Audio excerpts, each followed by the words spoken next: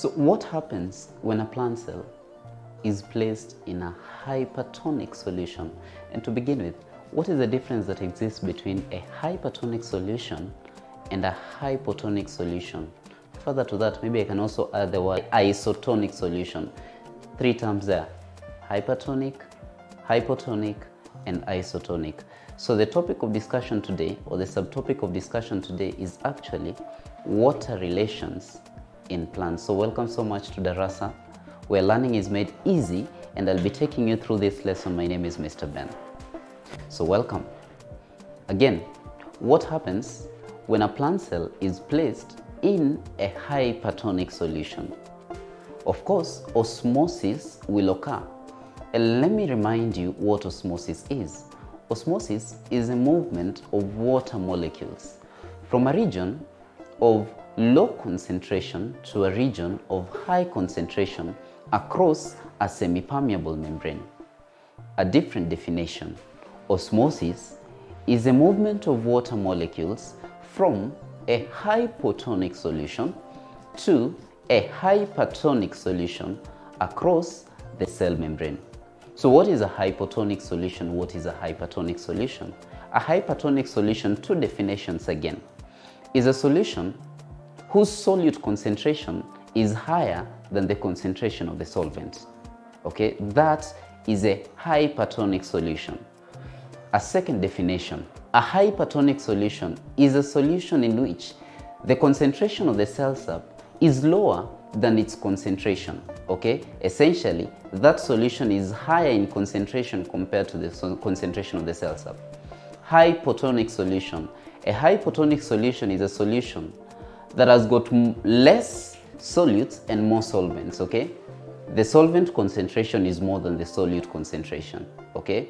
In other words, you can say it's a solution in which the cell sap is highly concentrated than actually that solution. So we say that it is a solution that is lowly concentrated than the cell sap. So those are the two definitions of the hypotonic and the hypertonic solution respectively. Now let us address the issue at hand, the matter at hand.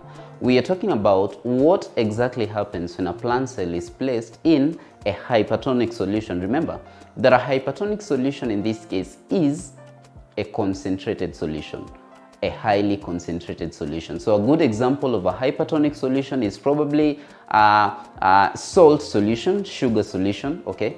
Those are examples of hypertonic solution. So when you place a plant cell in a hypertonic solution, you can use a, a, a real example, a real, a practical uh, example like taking a potato cube and placing it in a sugar solution. And that solution must be very concentrated in sugar or salt. So what exactly happens? After some time, you will realize that the potato cube is kind of, uh, I wanted to say flaccid, but let me use the word soft. You can, you can feel it's very tender, you can press it, you can press it unlike if you take another potato cube and place it in a hypotonic solution if you try to press it actually you'll realize that it's very hard okay? But now we are, we are addressing this potato cube that we placed in a hypertonic solution. So after some time maybe 30 minutes to one hour eh, if you take it and then press it you'll realize that it's kind of smooth you know? It's very soft. So let me explain to you the sequence of events of how exactly everything happens to achieve that soft potato cube. So the process of osmosis takes place. The process of osmosis takes place. So water is drawn from the potato cube to the hypertonic solution, which is the sugar solution, okay?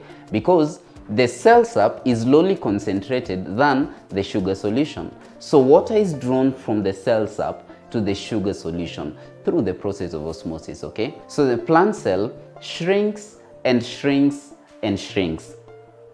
Okay? That means that as it shrinks, it reduces in size. Okay? As it shrinks, it reduces in size and then the cell membrane together with the cytoplasm detaches themselves from the cell wall. Are you getting that? So the cell membrane, you know, within the cell membrane, of course, you have the, the, the tonoplast, which uh, which houses the cytoplasm. So the cell membrane detaches itself from the cell wall. And that process uh, brings about the shrinking of the plant cell. So the shrinking of the plant cell, when placed in a hypertonic solution, we call that process plasmolysis. Okay? So again, what is plasmolysis? If you asked in an exam, what is plasmolysis? Plasmolysis is the shrinking of a plant cell when placed in a hypertonic solution. Please note the keywords there. The first keyword is the plant cell. If you just generalize and say the shrinking of a cell, that is actually not plasmolysis because I'll tell you the shrinking of an animal cell, you call that crenation. But then when you come to the shrinking of a plant cell, you call this plasmolysis. That tells you that there's a difference between crenation and plasmolysis. So don't generalize here, okay? So the shrinking of a plant cell, plant cell, that's the first keyword. The second keyword here is the hypertonic solution. You have to specify the solution, okay? You have to specify the solution. So the shrinking of a plant cell when placed in a hypertonic solution, you call that plasmolysis, okay? Plasmolysis can be reversed. Plasmolysis can be reversed. And let me explain how that is possible. If you take a cell that has undergone the process of plasmolysis, okay, we call it a plasmolysed cell. If you take a plasmolysed cell and then place that plasmolysed cell in distilled water or a hypotonic solution, what happens? What do you think happens? You know, this plasmolysed cell, it has not died. You need to know that, okay? It's very much alive. So if you take the plasmolysed cell and place it in distilled water or hypotonic solution, what happens? This is what happens. Osmosis, of course, will take place whereby water will be drawn from the hypotonic solution into the cell. Okay, remember the concentration of the cell sap in this case is now higher than the concentration of the distilled water. So water will be drawn from the hypotonic solution into the cell, okay? What does that mean? The cell will begin to revive. The cell will begin to increase in size and even to become turgid, okay? It will increase in size, become turgid, bigger and bigger and bigger. Are we together? But please note, it will not burst. So, the process, the entire process whereby a plasmolysed cell takes in water and becomes turgid again, it rejuvenates again, you call that process deplasmolysis. deplasmolysis. So that is when a plant cell, a plasmolysed plant cell is placed in distilled water. What happens? It draws water, becomes turgid, okay? So you call that deplasmolysis.